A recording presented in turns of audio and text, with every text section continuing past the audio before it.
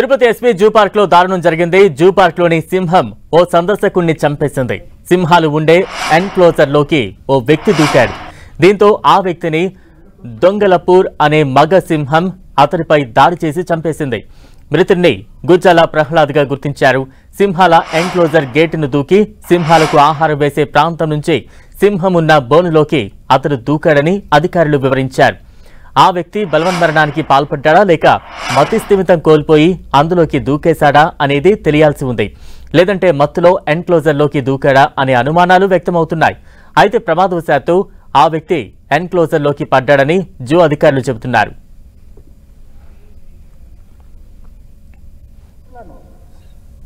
అందరూ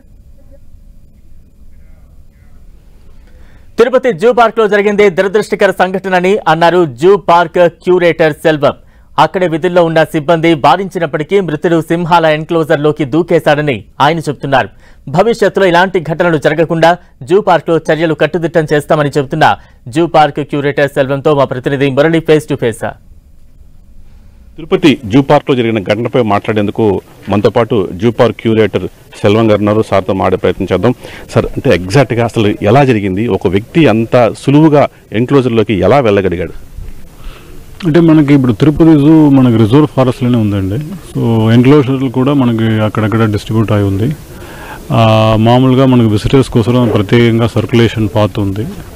మనకి ప్రతి చోట్ల కొన్ని చోట్ల సెక్యూరిటీస్ అయితే అక్కడ డిప్లాయ్ చేసి ఉన్నారు. విజిటర్స్ మూమెంట్ మానిటర్ చేయడం కోసం.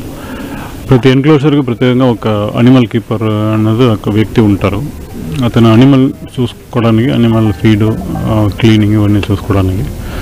ప్లస్ ఏదైతే రెస్ట్రిక్టెడ్ ఏరియా ఉన్నాయో అవన్నీ కూడా ప్రాపర్గా ఫెన్సింగ్ చేసి మామూలుగా only zoo staff doctors feed ఇలాంటివి తీసుకెళ్ళడానికే ప్రత్యేకంగా వాడతాము. ఆఫ్ డిస్ప్లే ఏరియా అది. సో అక్కడ అతను అన్నాథరైజ్డ్గా ఎంటర్ అయ్యారు. సో అది చూసిన వెంటనే మన వాళ్ళు అతన్ని కాషన్ చేయగా అతని వెనకాల పరిగెత్తుకొని అతనికి కాషన్ ఇస్తూ వెళ్ళగానే అతను ఫెన్సింగ్ మీద ఎక్కేసి లోపలికి జంప్ చేశారు. ఒక మూడు సింహాలు ఉన్న బయటే ఉన్నాయా? ఎన్క్లో లోపలే ఉన్నాయి సార్? ఈ ఎన్క్లోజర్కి మూడు సింహాలు మనకి నైట్ హౌస్లో ఉంటాయి. ఒక్క సింహం మాత్రం మనం బయట ఎన్క్లోజర్లో వదులుతాం డైలీ. జరిగిన టైంలో ఒకటే ఒకటి దాని పేరు దుంగర్పూర్ మనము ఇక్కడ ఎక్స్చేంజ్లో తీసుకురావడం జరిగింది. ఇంతకుముందు ఎటువంటి ఇష్యూస్ అయితే లేదు. కానీ ఇతను వాంటెడ్గా జంప్ చేశారు కాబట్టి సెల్ఫ్ డిఫెన్స్ కోసం జనరల్గా ఏ ఎనిమల్ అయినా కూడా మనకి అటాక్ చేయడం అనేది చేస్తుంది. మేనేటర్ గానే వెంటనే మేనేటర్ అయిపోతాయి సార్ అవి. లేదు అంటే మనం జూ అనిమల్ కాబట్టి మనం రెగ్యులర్గా దానికి ఫీడ్ అని ఇస్తూ ఉంటాము. ఇక్కడ అది అటాక్ చేసినా కానీ అతను బాడీ పార్ట్స్ అన్ని ఇంటాక్ట్గా ఉన్నాయి. నేను తినలేదు అట్లా ఏం లేదు. హ్యూమన్ ఎర్రర్ ఏమన్నా ఉందా? ఎందుకంటే అతను రెస్ట్రిక్టెడ్ ఏరియా లోపలికి వెళ్ళిపోయి చాలా సులువుగా పైని దూకేసగలిగాడు. సిబ్బంది తప్పిదం కానీ సిబ్బంది లోపం కానీ ఉందా? పైగా అతను మద్యం సేవించడం చెప్తున్నారు. అట్లాంటి వ్యక్తిని లోపలికి ఎలా అలో చేశారంటే ఎట్లా చెప్పగలరు? అంటే మద్యం అన్నది ఇప్పుడు పోస్ట్ మార్టంలో తెలుస్తుంది. మనకి మామూలుగా ఎంట్రన్స్లో బ్యాగ్లు ఇవన్నీ కూడా మనం చెక్ చేయడం జరుగుతుంది. వాళ్ళు ఫుడ్ మెటీరియల్స్ కానీ మందులు కానీ ఏదైనా తీసుకొస్తే ఎంట్రన్స్లోనే చెక్ చేసి పంపిస్తారు.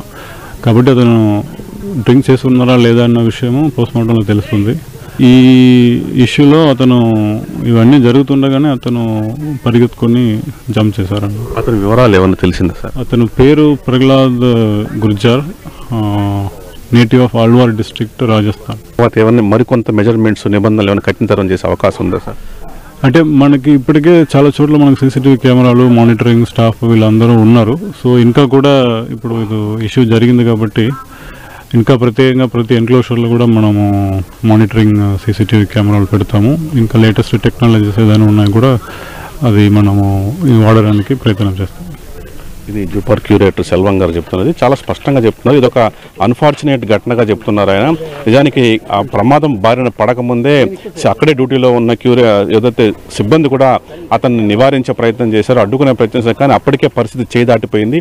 ఆయన లోపల పడిపోవడం ఒకసారిగా సింహం దాడి చేసి అతను చంపడం క్షణాల్లో జరిగిపోయిందని చెప్పి క్యూరేటర్ గారు చెప్తున్నారు. అట్లాగే ఇట్లాంటి ఘటనలు మళ్ళీ మళ్ళీ జరగకుండా మరికొన్ని నిబంధనలు తీసుకుంటాం అన్ని చర్యలు చేపడతాం. ప్రత్యేకించి పెద్ద ఎత్తున సీసీ కెమెరాలు కూడా ఏర్పాటు చేసి ఇట్లాంటి చర్యలు మళ్ళీ పునరావృతం కాకుండా చర్యలు తీసుకుంటామని చెప్పి జూ పార్క్ క్యూరేటర్ సెల్వం గారు చెప్తున్న పరిస్థితి ఇక్కడ కనిపిస్తోంది.